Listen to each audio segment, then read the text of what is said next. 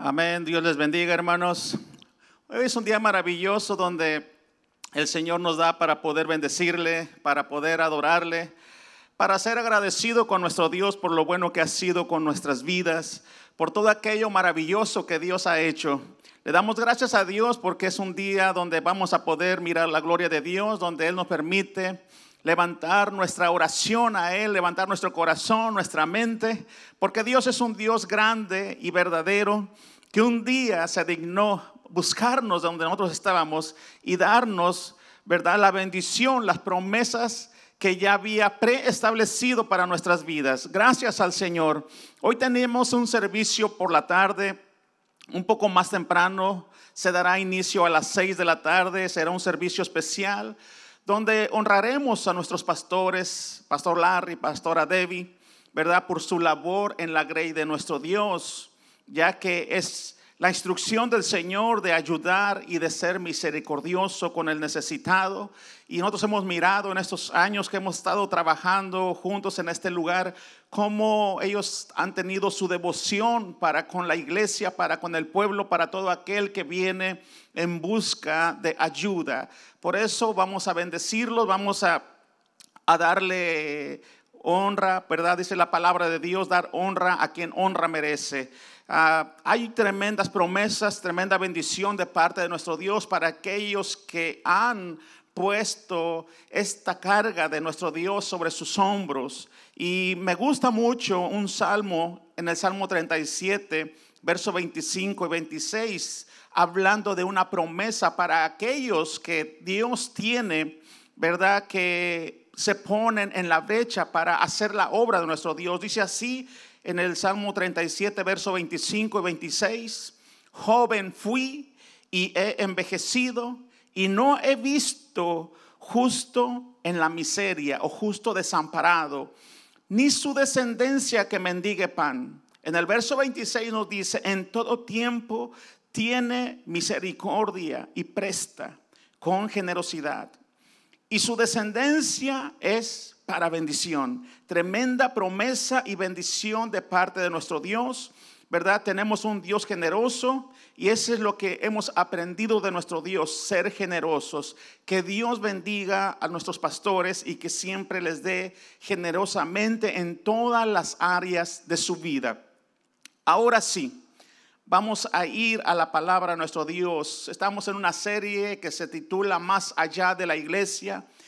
Y es la obra que nosotros hacemos cada día de nuestra vida. Es la obra que desempeñamos, ¿verdad? Aquí en la iglesia y fuera de la iglesia, donde el Señor nos lleva a, vivir. Y es ahí donde nosotros desarrollamos el ministerio que Dios nos ha dado. Nuestra ah, cita bíblica será en 1 Timoteo 1, del verso 12 al 17 es una porción de la palabra de Dios que vamos a tener como base. Dice así la hermosa palabra de Dios, doy gracias al que me fortaleció, a Cristo Jesús, Señor, nuestro Señor, porque me tuvo por fiel poniéndome en el ministerio. Qué hermosas palabras del apóstol Pablo. Dice, habiendo yo sido antes blasfemo, perseguidor e injuriador, mas fui recibido a misericordia porque lo hice por ignorancia e incredulidad. Pero la gracia de nuestro Señor fue más abundante con la fe y el amor que es en Cristo Jesús. Palabra fiel y digna de ser recibida por todos. Que Cristo Jesús vino al mundo para salvar a los pecadores de los cuales yo soy el primero. El verso 16 dice, por esto fui recibido a misericordia, para que Jesucristo mostrase en mí el primero toda su clemencia, para ejemplo de los que habrían de creer en él para vida eterna. Y el 17 y último dice, por tanto al Rey de los siglos, inmortal, invisible, al único y sabio Dios sea honor y gloria por los siglos de los siglos. Amén. Vamos a hacer una corta oración para depender de nuestro Dios y para que esta porción de la palabra se haga real en nuestras vidas, para que esta porción se haga viva en cada uno de nosotros. Padre, gracias, porque tú eres un Dios maravilloso que nos ha, Señor, escogido, Señor, para formar parte de este ministerio tuyo. Señor, gracias por el haberme, Señor, escogido desde antes, oh Dios, de que yo tuviese, oh Dios, Señor, el conocimiento. Pero ahora me doy cuenta, Señor, que tú eres dueño de todos los tiempos y que en el momento exacto tú me llamaste. Señor, no solamente llamando a mí, Señor, sino a mi familia entera, mi hogar, Señor, mi matrimonio. Por eso, Señor, te honramos, oh Dios, y te damos gracias, porque eres un Dios maravilloso, que tú tienes todo perfectamente, Señor, calculado, Señor. Tú sabes en qué tiempo acontecen, Señor, los momentos de gloria, Señor. En qué tiempo vienen los momentos que necesitamos, Señor, ser, Señor, totalmente, oh Dios. Ah, Señor, esforzados por ti. Gracias en el nombre de Cristo Jesús y ayúdanos en este momento a que tu palabra fluya, a que ministre las vidas, los corazones de aquellos que necesitan una palabra de parte tuya, Señor, para que el corazón que está en aflicción trae, Señor, la libertad en el nombre de Cristo Jesús. Amén y amén. Gracias, oh Dios. Qué hermosa carta de amor de Dios para la humanidad. Ah, y muestra aquí la obra de Dios, cómo Dios hizo en la vida de Pablo, pero que Pablo iba a transmitir esto a su hijo en la fe, Timoteo, y Timoteo la iba a transmitir a aquellos que estaban siendo parte de su liderazgo, porque Timoteo era un joven pastor de en aquellos tiempos. ¿verdad? Para que así la gente iba a recibir esa misma bendición, esa misma instrucción. Por eso Pablo escribe su carta a uno de sus hijos en la fe, ¿verdad? Para ayudar al ministerio de este joven, ¿verdad? Y por eso le da el carácter y doctrina que son esenciales para un buen liderazgo en la iglesia, ¿verdad? Te voy a hablar acerca de del carácter de la doctrina, ¿verdad? Pero vamos a tener algunos puntos que en el transcurso de, estos minutos vamos a poder hablar acerca de ellos para ayudarnos en nuestra vida espiritual, en el crecimiento espiritual que es tan necesario para la iglesia, para nuestra relación con Dios, para todos aquellos que esperamos el acontecer maravilloso de que el Señor Jesucristo regrese por su iglesia, pero que su iglesia esté lista para recibir a su Señor. Y esto es lo que nos ayuda para ser, ¿verdad? Esos hombres o esa iglesia que el Señor está buscando. Carácter es un conjunto de cualidades que condicionan la conducta de cada individuo, o sea, que conforman su personalidad. ¿Verdad? Carácter o personalidad se determina por el entorno social, cultura a la cual pertenece cada ser humano. ¿verdad? O sea que si nosotros pasamos tiempo en la palabra de Dios, nos vamos a empapar de la palabra de Dios y eso formará en nosotros el carácter de nuestro Señor Jesucristo, ¿verdad? Hay un este Ah, hay un grupo de música que se llama Cultura de Jesús, ¿verdad? Y realmente eso es lo que nosotros debemos, ¿verdad? Aportar en nuestra vida diaria, traer la cultura de nuestro Señor Jesucristo para que nosotros seamos ejemplo para otras vidas, para otras personas que tienen necesidad de Dios. Para, por eso, para tener el carácter de Cristo, tenemos que conocer a Cristo y pasar tiempo con Él.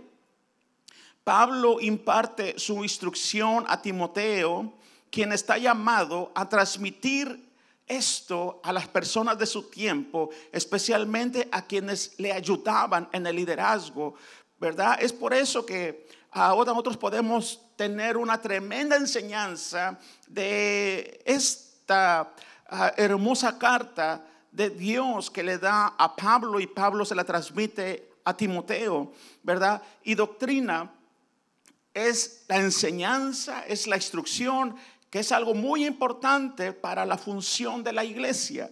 La iglesia tiene que tener fundamentos en la palabra de Dios. Cuando la iglesia tiene fundamentos en la palabra de Dios, es una iglesia inconmovible porque todo su respaldo está en la base, toda su fortaleza está en el fundamento que es la palabra de Dios. Es por eso que el crecimiento espiritual no es algo simple como asistir a una iglesia, ¿verdad? O mirar este, algún programa, programa de una predicación.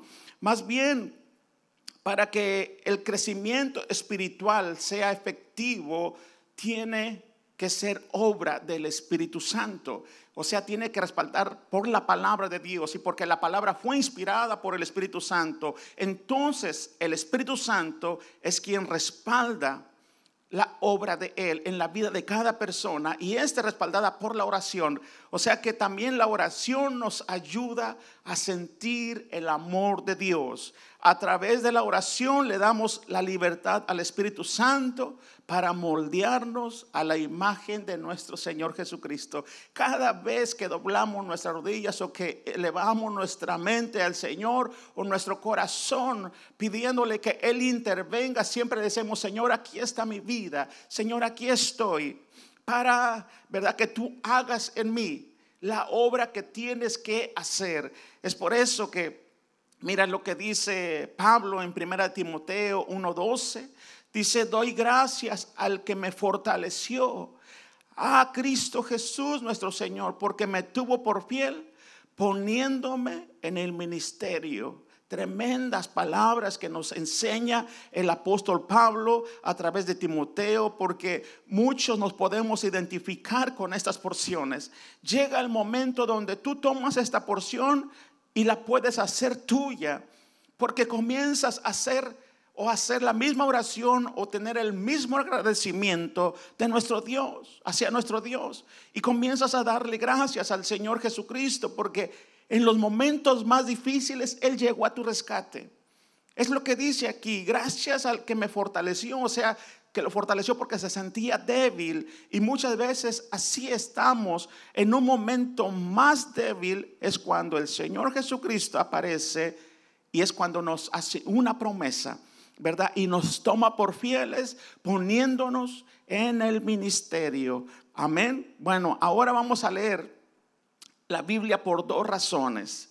¿verdad? La primera es para descubrir lo que Dios quiere comunicarnos ya que nos ha puesto en el ministerio, al igual que a Pablo y que a Timoteo, que era su hijo en la fe, ¿verdad? Entonces, esta es la primera razón por la cual vamos a leer la palabra de Dios para descubrir lo que Dios nos quiere decir. La segunda es para desarrollar una amistad con Dios, que es muy importante leer con regularidad la Biblia.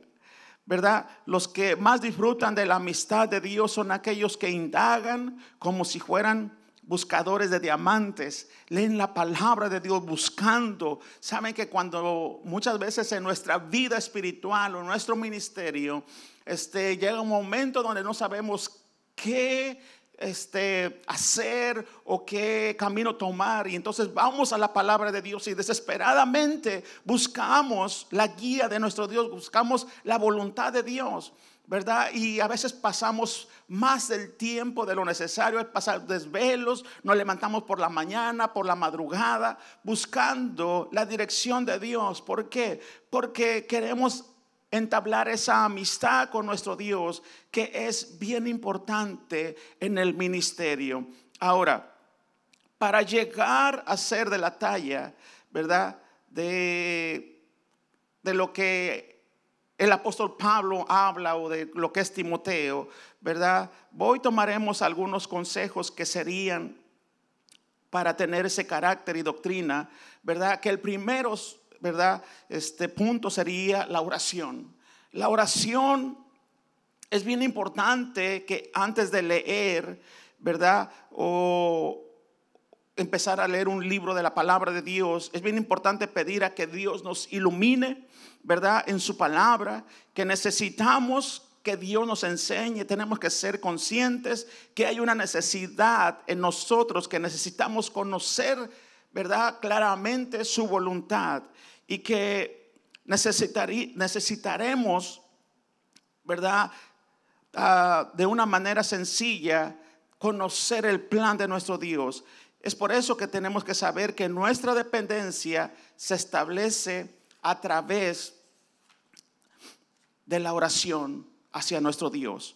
¿Verdad? La oración nos lleva a confirmar el llamado que Dios tiene para con nosotros. Así como Pablo aconseja a Timoteo, ¿verdad? En Timoteo 2.8, Pablo le dice, quiero pues que los hombres oren en todo lugar, levantando manos santas sin ira ni contienda. La oración es parte vital de una vida espiritual.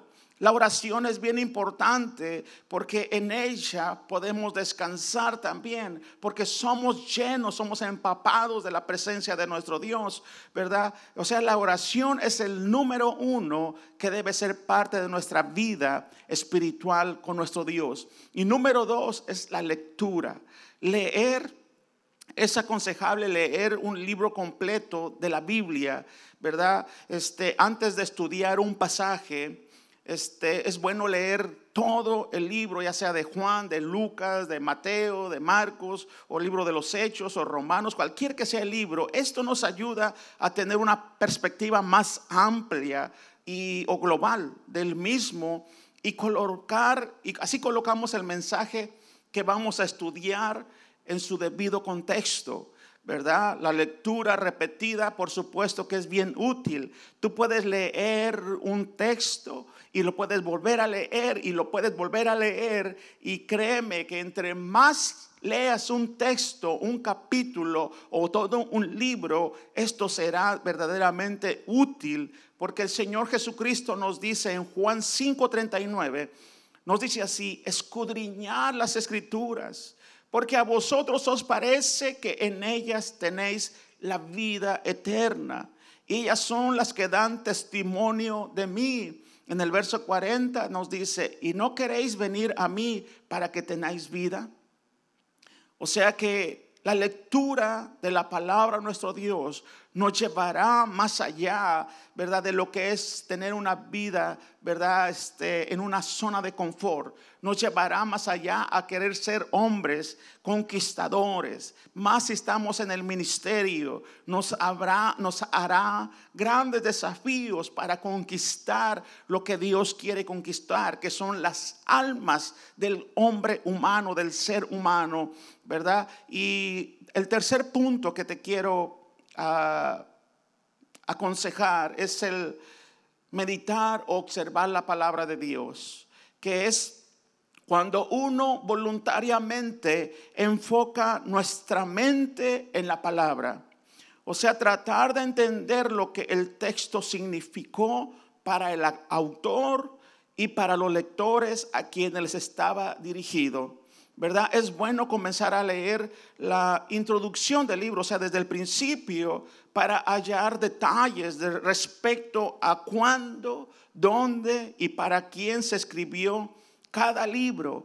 Esto te da una tremenda, este, este, te abre el conocimiento de la palabra de Dios y así puedes entender mucho más la palabra de Dios, cuando meditas en la palabra de Dios o cuando quieres observar más profundamente en la palabra, en la obra de nuestro Dios. Es por eso que número uno es la oración, número dos es la lectura, ¿verdad? Y número tres es meditar en la palabra de Dios, ¿verdad? No meditación de poner la mente en blanco, no, no, no, eso no es aconsejable, ¿verdad? Porque cuando uno pone la mente en blanco, entonces es una puerta abierta para el enemigo. Pero cuando nosotros meditamos en la palabra de Dios, enfocamos nuestra mente en la palabra de Dios y de esta manera cerramos la puerta al enemigo porque estamos abriendo la puerta al Espíritu Santo de Dios, a nuestro Dios, para que Él venga y podamos nosotros canalizar la voluntad de Dios, la obra de Dios, la palabra de Dios. Amén. Así de que el número cuatro es la aplicación de la palabra de nuestro Dios. Sabes que la aplicación, este es el objetivo principal de todo estudio bíblico.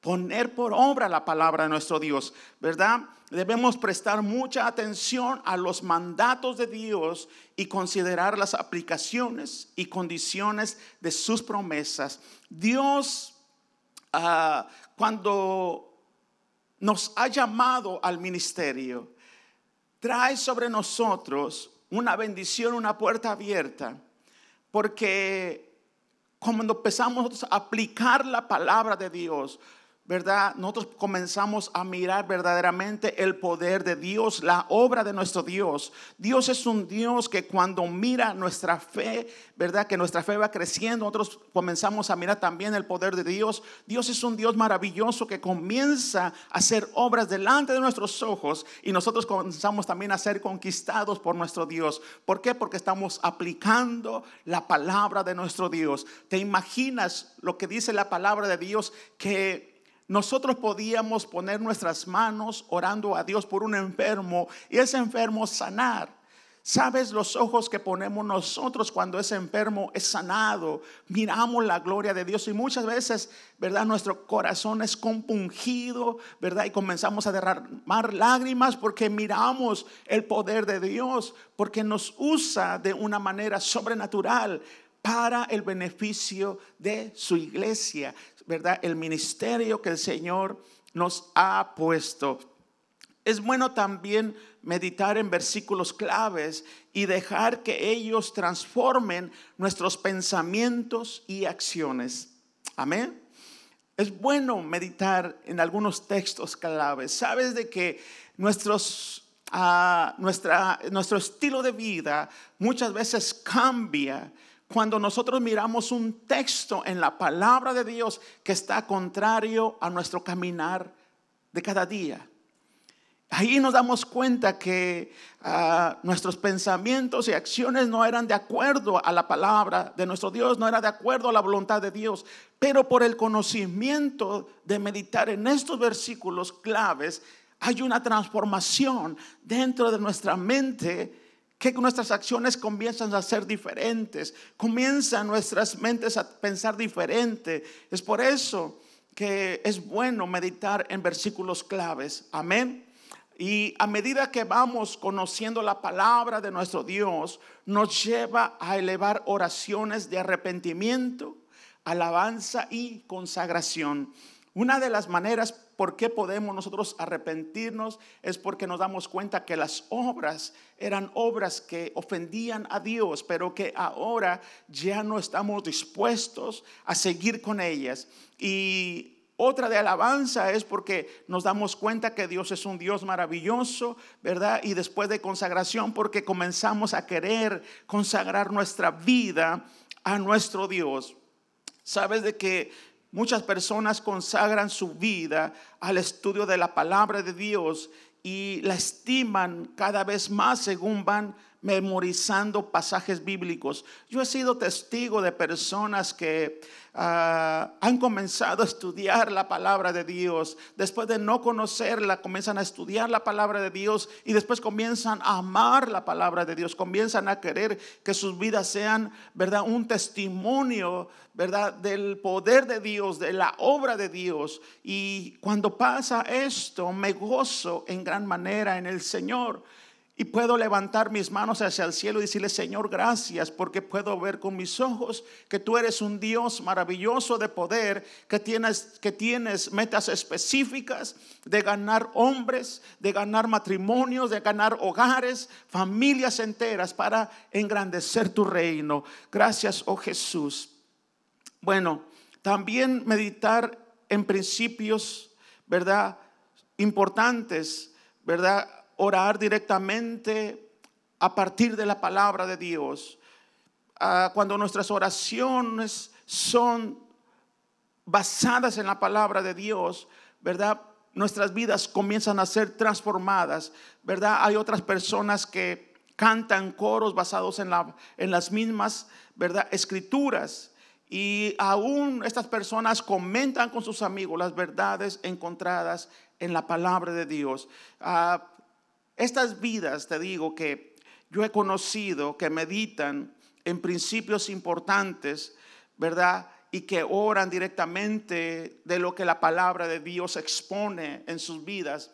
¿Verdad? Yo puedo mirar cómo estas personas son personas totalmente bendecidas, que Dios ha abierto puertas de bendición, ¿verdad? Que Dios ha abierto puertas de sanidad, de restauración. Y por esta razón puedo decirte que Dios es un Dios real, que verdaderamente está interesado en las almas del ser humano, ¿verdad? Porque Dios ha hecho grandes cosas por nuestras vidas. Es por eso que que debemos de saber que a través de cada página de las escrituras, ¿verdad? Se oye la voz del Dios viviente que habla de diversas formas, ¿verdad? Si te das cuenta que desde el Génesis hasta el Apocalipsis se escucha la voz de nuestro Dios, ¿verdad? Así de que para que de la manera que todos puedan llegar a conocerle y a vivir de acuerdo a su verdad. Amén. Así que ser un testimonio de la obra de Dios cada día aquí en la tierra, ¿verdad? Nos va a llevar a nosotros a tener ciertas aplicaciones en nuestra vida de Dios, una oración constante, una lectura constante, un meditar en la palabra de Dios y aplicar la palabra de Dios. Esto nos llevará a cada uno de nosotros lo que pasó con el apóstol Pablo, lo que pasó con Timoteo, de que iban a ser un testimonio real de lo que la palabra de Dios había hecho en ellos. Y esta es la razón por la cual me doy cuenta que Dios tiene planes para con todos. Mira lo que dice 1 Timoteo 1:16. Pero por esto fui recibido a misericordia, para que Jesucristo mostrase en mí el primero toda su clemencia para ejemplo de los que habrían de creer en Él para vida eterna. Cuando yo miro esto, dice, por esto fui recibido a misericordia para que mostrase en mí el primero. Sabes que en mi hogar, no en mi familia, en mi hogar, en mi esposa, en mis hijos, yo fui el primero. Y puedo decir, Ahí Dios mostró su clemencia en mí, para ejemplo de los que habrían de creer en Él para vida eterna. Ahora tengo unas generaciones detrás de mí que ellos pueden tener un ejemplo verdadero de cómo Dios es un Dios real y verdadero. Y yo sé que también muchas personas en los cuales este, somos hermanos en Cristo Jesús, han sido los primeros en su familia, han sido los primeros en generaciones que han venido al conocimiento de Dios y que Dios ha mostrado en ellos, ¿verdad? Toda su clemencia para que a través de ellos ellos sean el ejemplo de los que van a creer, después en el Señor Jesucristo para vida eterna. Dios es un Dios, ¿verdad? Que va a usar a cada persona en el lugar donde vive, en su matrimonio, como un ejemplo para salvación de vida, para preservación de vida. Es por eso que ahora yo puedo mirar cómo Dios transmite su verdad al apóstol Pablo, ¿verdad? Y cómo Pablo imparte su instrucción a Timoteo, su hijo en la fe. Y Timoteo es quien está llamado a trasladar esta verdad a la gente especialmente a quienes le ayudan en el liderazgo. Dios es un Dios maravilloso. La verdad de Dios es impartida sobre su iglesia para que vivamos una vida totalmente apartada, exclusivamente para Él. Dios nos hace ese llamado para que podamos ser esos instrumentos en las manos de Dios Hoy por la tarde estaremos alabando y glorificando el nombre de nuestro Señor Jesucristo, donde será un placer, ¿verdad? Este saludarte, ¿verdad? Claro que con el distanciamiento que se requiere para la honra y la gloria de Dios, porque hasta este momento Dios nos ha guardado, Dios nos ha protegido, porque su palabra ha sido fiel. ¿Verdad? Hemos sido guardados del coronavirus, hemos sido guardados de toda esta pandemia, pero somos personas conscientes de que también tenemos que ser ejemplo a otras personas. Y es por eso que vamos a venir con todas las recomendaciones que se necesitan. Amén. Así es de que, bueno, voy a terminar con esta recomendación del apóstol a Pablo a Timoteo en 1 Timoteo 4:16. Le dice esto maravilloso. Ten cuidado de tu conducta y de tu enseñanza. Persevera en todo ello porque así te salvarás a ti mismo y a los que te oyeren. Amén. Dios es un Dios grande y maravilloso. Yo voy a enfocar mis fuerzas y voy a tener cuidado de mi conducta, de mi enseñanza y voy a perseverar en todo aquello que el Señor me ha dado, porque así me voy a salvar a mí mismo, a mi familia ¿verdad? A los de mi casa y a todos los que me oyeren. Vamos a orar y le vamos a pedir al Señor que Dios haga una realidad esta palabra de Dios. Que nuestras vidas sean vidas totalmente como el barro, que sean moldeadas en las manos de nuestro Dios. Cierra tus ojos ahí donde estás.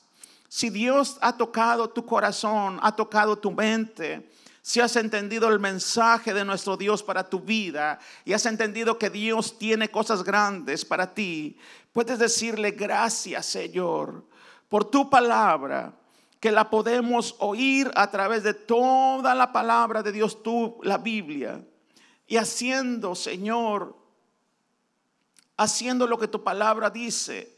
Y no solamente, oh Dios, para que podamos vivir a través de tu palabra, Señor, oramos, oh Dios, por los pastores, oh Dios. Señor, para que tú abras puertas, oh Dios, de bendición sobre sus vidas, sobre su hogar, sobre sus familias y sobre sus ministerios.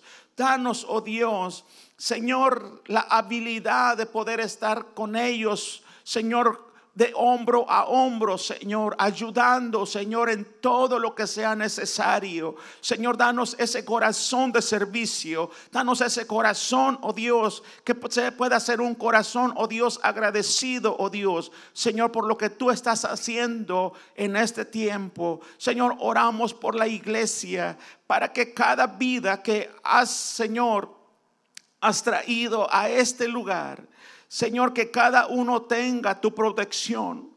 Oramos, Señor, por el grupo de alabanza, oh Dios, para que tú les puedas dar, oh Dios, unción para ministrar a tu pueblo, para ministrar a, Señor, a tu iglesia. Señor, que en cada alabanza estés tú, oh Dios, ministrando sus vidas.